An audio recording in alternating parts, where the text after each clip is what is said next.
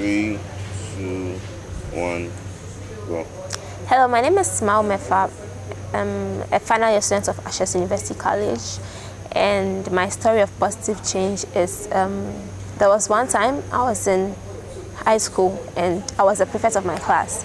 So after the test, we had a test. So my, my teacher asked me to look for students to help me mark.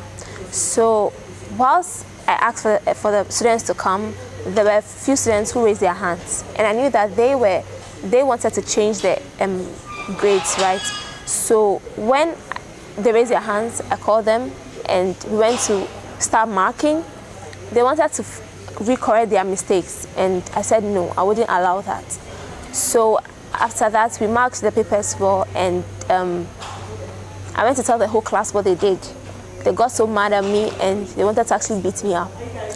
But because I knew what I did was right, I stood by my truth and I defended myself. I didn't want them to um, continue with their negative act. So I fought for what is right. No, I knew it was true. So even though they they were attacking me, they nearly beat me up, I stood tall amongst everybody and I fought for the truth. And later I made them, um, because I was fighting for the truth and they knew that that was the truth and I could have told the teacher, they backed off. So it made me realize that if you believe in something, if you know something and you stand for the truth, nobody can nobody can shake that off you. You have to stand for your values, you have to stand for what is right.